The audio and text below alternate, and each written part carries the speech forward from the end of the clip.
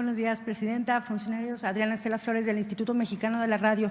Yo quisiera abundar un poco más, Presidenta, sobre el caso de Chiapas, sobre más allá, eh, mientras se llevan a cabo las investigaciones en torno al asesinato del sacerdote, eh, ¿qué va a pasar respecto a las denuncias que él hacía? Él eh, se volvió uno de los rostros más emblemáticos respecto a las denuncias sobre la violencia en esa entidad.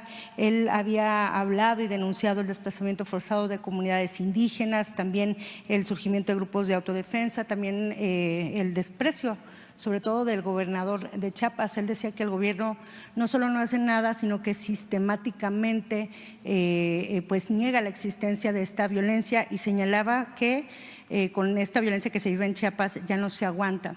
Le quisiera preguntar, Presidenta, ¿cuál es el diagnóstico que se tiene sobre lo que se está viviendo en Chiapas? ¿Qué es lo que se está viviendo allí y qué va a hacer su administración para frenar toda esta ola de violencia en esa entidad? Sí, si gustan, dedicamos un día a hablar del tema de Chiapas y de otros estados de la República. El día de mañana, por ejemplo, viene eh, la gobernadora de Guanajuato al gabinete de seguridad. Eh, es de otro partido político, pero eso no quiere decir que no nos coordinemos para la seguridad de los habitantes de Guanajuato. Y es necesario eh, de hecho, ya están en Celaya, en León, hay una estrategia desde, desde antes y cuando llegamos la reforzamos, en particular en Celaya y en León, Guanajuato, en Salamanca también.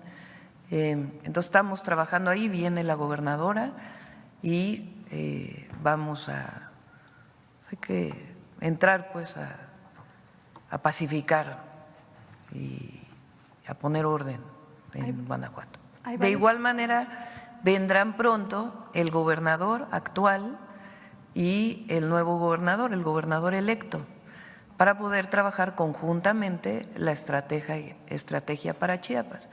Cada estado es distinto.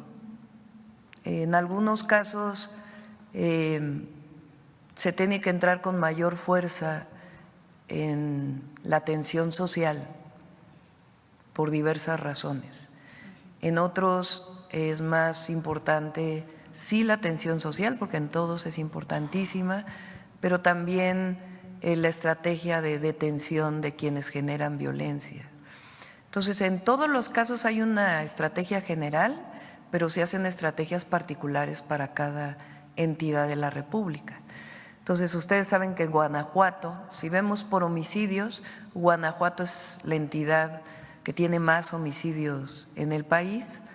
Eh, le siguen después otras entidades dependiendo eh, del mes. Eh, está Chihuahua, Estado de México, a veces es Baja California. y estamos trabajando. Ya vino la gobernadora de Baja California y se está haciendo una estrategia que no es que de un día a otro se pueda resolver, pero hay una estrategia que se va a notar en poco tiempo. Eh, entonces, lo mismo es para Chiapas.